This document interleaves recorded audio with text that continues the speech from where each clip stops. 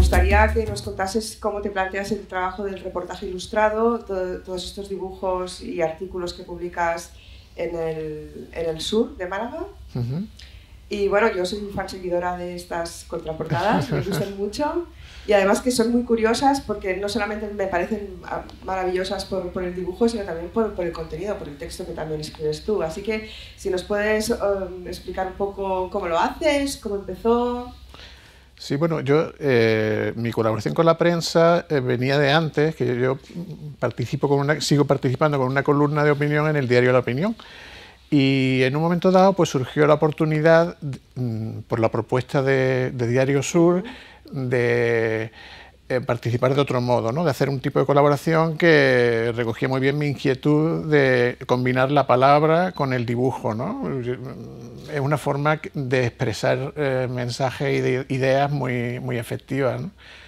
Y así surgió la propuesta del director de, Diario Sur, que me, hace ya cuatro años me propuso hacer algún tipo de colaboración, además eh, centrado en el dibujo, pero mm, una propuesta muy abierta, ¿no? de la manera que yo quisiera.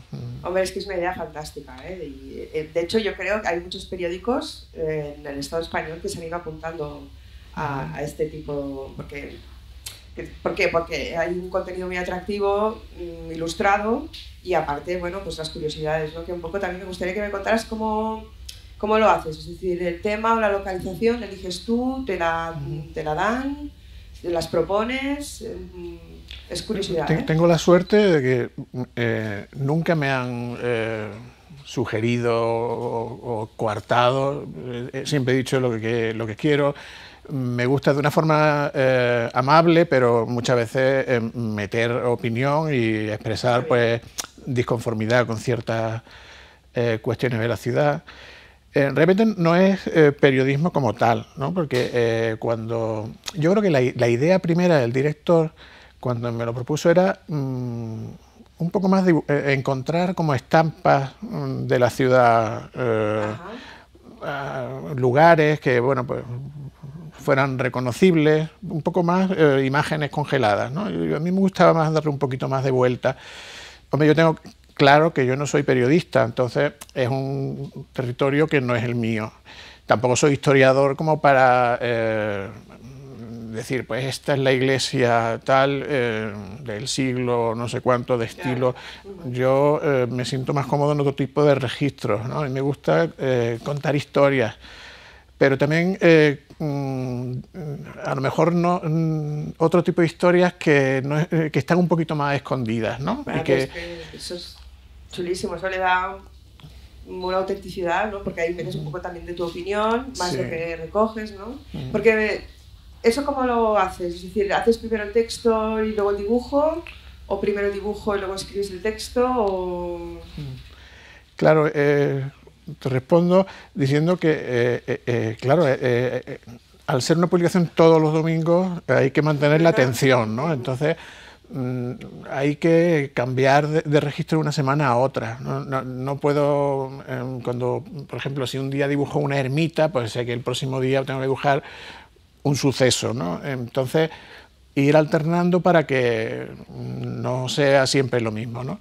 Entonces hay varias, varias formas, em, por ejemplo, pues el día de la procesión marítima del Carmen, pues me subo en un barco y dibujo la procesión. Eso es una, cosa que quizá viene más rodada. ¿no? Hay otros días que, que no sabes qué dibujar, resulta que te echas a la calle a ver qué te encuentras y te encuentras a los bomberos eh, que están eh, una cornisa que se ha desprendido, pues eso, también son cosas más inmediatas. ¿no? Pero hay otras cosas eh, que son las que más me gustan a mí, que son historias que no se te desvelan al principio, ¿no? Entonces, pues, no sé, pues por contar eh, alguna, eh, a ver si por ejemplo, pues esta que no, Villantenas, ¿no? Es un, es un Villantenas. le puse yo ese nombre, ¿no? Una, casa antigua que de pronto descubres que, que tiene pues, como ocho antenas, una casa pequeñita, pero tiene ocho antenas, y luego abajo tiene un cazafantasma eh, en plan graffiti, ¿no? Entonces, pues ese tipo de cosas mm, me dan a mí para fabular y empezar a imaginarme historias, ¿no? Y esas son pues las que más me gustan a mí porque el dibujo por sí solo eh, llega hasta un punto, pero si además eh, le añades un texto que, te invente ya una historia un poco insignificante, pues, eh, pero que, al final le está contando historias de, eso, ¿no? Qué es que me parece tan bonito, es tan interesante, porque además, eh, por ejemplo, a nivel técnico, ¿cómo organizas el trabajo? Es decir, haces el dibujo, el original todo no haces nada en digital, solamente el escaneo. El escaneo y ya está, sí. Vale, ¿Y el, ¿y el, número de caracteres? Es decir, ¿tienes un espacio de texto concreto cada semana? Yo, eh, el único condicionante que tengo es eh, las dimensiones del, del dibujo. Y el número de, de, caracteres, que bueno, ha ido cambiando dependiendo de la época, porque a veces pues había un columnista al lado, otras veces eh, va mi, va mi colaboración sola, que bueno, pues eh, en fin, eh, por, ver un poco la, esta es la, la tal y como se ve, ¿no? Sí, a tamaño real. Sí. Entonces, eh, el, el, número de caracteres que ahora mismo escribo 145. ¿Ves? arriba abajo, pero 145 palabras. Es en palabras, perdón, sí. Vale. Y bueno, el aspecto técnico, hombre, pues tiene un, su, su complicación porque el, el papel de periódico es muy desagradecido es muy opaco y mata completamente los colores. O sea que te has tenido que adaptar un poco ya pensando cómo vas a escanear o cómo vas a preparar el original para que no te quede pastado o no te quede muy sucio. Y que a la vez no te quede chillón en la versión digital, claro. ah, claro, claro. Entonces, bueno, pues hay que tener una cierta precaución. Eh, en su día le pregunté al director, bueno, ¿qué, ¿qué, es más importante, la versión en papel o la versión digital? La versión en papel. Bueno, entonces me centraré me centro en esta. ¿no? Eh, ¿Los tienes todos en tu perfil de Instagram o los, las vas subiendo, verdad? ¿O en eh, Facebook? En Facebook solo la eh, las poner... pasar las puede ver allí porque están allí, ¿no? Las vas, las vas subiendo. Yo al menos yo las sí. yo testigo y ahora las, las, voy viendo. Sí, a mí el que más me gusta para verlo es, eh, tengo un Google Map de la ciudad que también me sirve para ver qué zonas eh, me faltan por, por, ver más. Todas tus publicaciones localizadas, que eso es súper chulo, está muy bien, perfecto. Y por, me deja que, te, que, eh, cuando me has mencionado el, cómo plantear el dibujo, cómo surge, hay veces que, que, también es fantástico que eh, el dibujo es precisamente el medio para que te, te vayan surgiendo cosas que, que, no estaban al principio, que no has visto al principio, pero también para que la gente eh, participe. Ah, qué guay. Entonces, pues a lo mejor hay una. Estás dibujando una casa en ruinas y estás apoyado en la tapia de una casa, ¿no? Y de pronto, pues resulta que la puerta se abre y sale una señora y te dice. Pues en esa casa vivía, en la guerra civil pasó, y te empiezas a contar unas historias fascinantes que, que a lo mejor si, si, eres un fotógrafo y haces la foto y te vas, pues no te. Pero el dibujo tiene ese tiempo ese, ese tiempo de reposo que, que, permite que suceda la magia, ¿no? O como aquel día que estaba dibujando otra casa y, se acerca el guardacoches eh, y dice, pues la casa esa está en venta eh, por tanto dinero. Entonces, obtienes una información sin ir tú preguntando, sino que la información llega a ti de forma muy natural, ¿no? Es muy bonito. Es muy chulo. Estaríamos aquí hablando, pero es que también hay otros aspectos que creo que son interesantes, como por ejemplo tu trabajo publicado a nivel editorial. Sí. Si nos haces un breve repasillo de los libros que, que tenemos por ahí tuyos. Sí, eh, bueno, el, el primer eh, eh, libro publicado como tal, que es el, el Málaga Cuaderno de Viaje. Ajá. Que bueno, ya va por la cuarta por la cuarta edición Súper y este chulo lo tengo.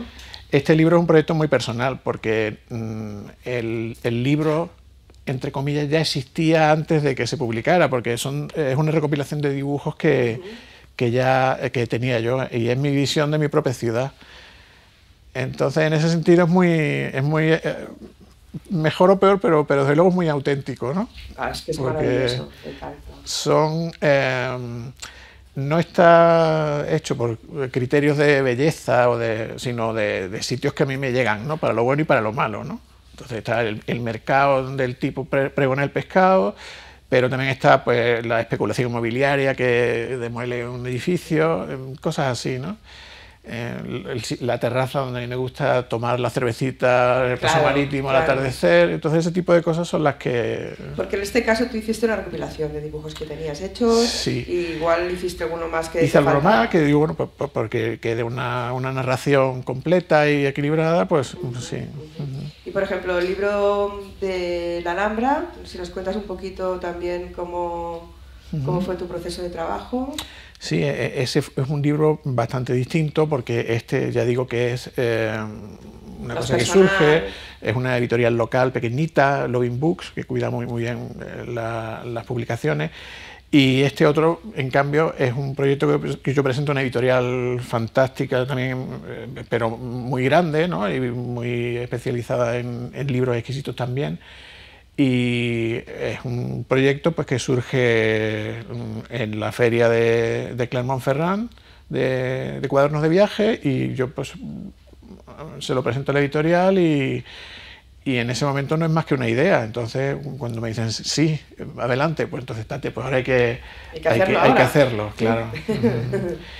Pero bueno, se, se sufre un poco, ¿no? Pero también yo creo que todos tenemos un proceso ¿no? que acabamos elaborando. Es decir, pues yo qué sé, tú te haces una lista de dibujos que piensas mm, hacer o quieres hacer un recorrido como si fuera un viaje o no. O sea, ¿tú qué haces? ¿O te haces primero o vas dibujando un poco a la brava a ver qué sale y luego lo metes? Y cuando ya queda muy poco tiempo, corres mucho para meter lo que falta, que era importante, que no está.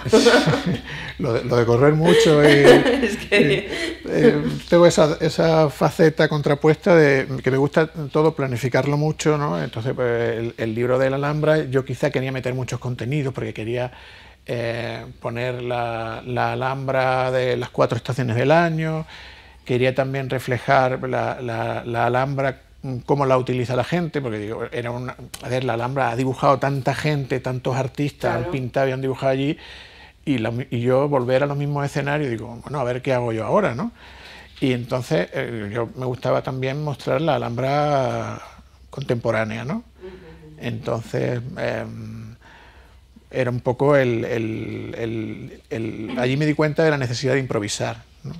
de que quizá todo lo que yo tenía planeado pues había que adaptarlo a, a, lo que me encontré. Y un poco para que la gente, para los que no sepan lo que es, eh, hablamos de Clermont porque ya sabemos de qué va, pero un poco para que la gente que no sepa en qué consiste, si, si nos puedes contar qué es la Feria de Clermont, eh, qué pasó allí, qué pasa en esta feria, qué significa. Sí, bueno, la, la, feria yo creo que es el sueño de, de todo aficionado al dibujo de viaje y a los libros, ¿no?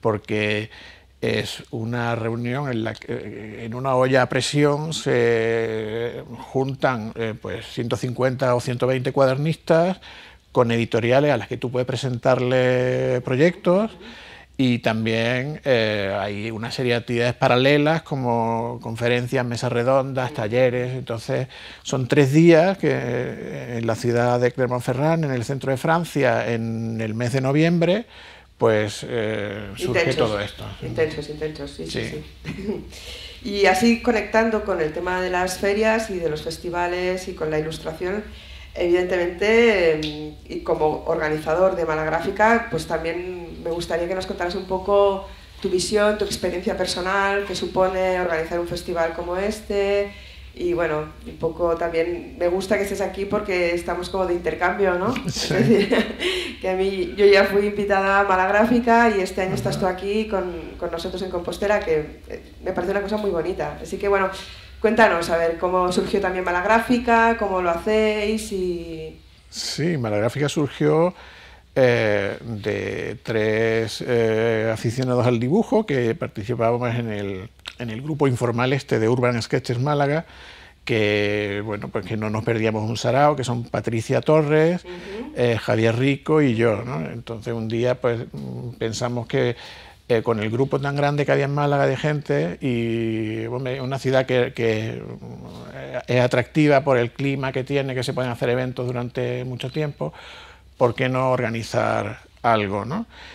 Y entonces nosotros le, le imprimimos ese, ese, sello un poco amateur nuestro, porque ninguno de los tres somos profesionales de esto, pero nos interesaba pues combinar lo que son talleres de calle con eh, conferencias, en un formato como el de aquí de, Compostela Ilustrada, ¿no? del que bueno, pues nosotros también aprendemos y admiramos mucho. ¿no? Y así pues es como surgió, llevamos por seis ediciones. Eh, y de Malagráfica a Compostela. Cuéntanos qué te parece Compostela, que bueno, también menudo cambio, ¿no?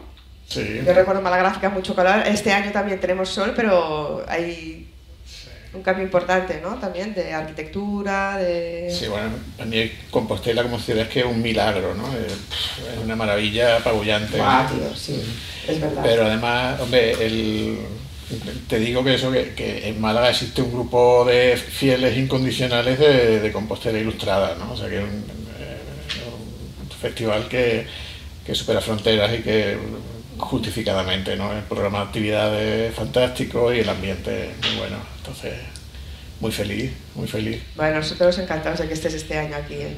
Te adoramos, lo sabes.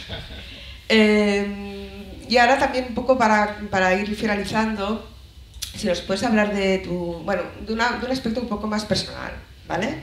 De esas cosas que bueno, son un poco más íntimas de tu relación con el dibujo, cómo empezaste, qué sientes, ¿vale? Ese aspecto más profundo quizá, no lo sé, ¿no? Pero que a mí me interesa muchísimo.